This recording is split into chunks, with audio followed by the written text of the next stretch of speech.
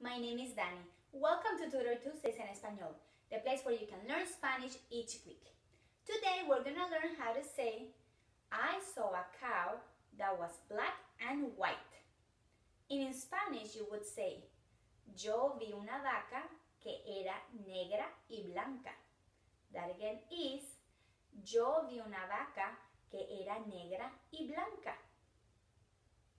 And that was our Spanish sentence for this week.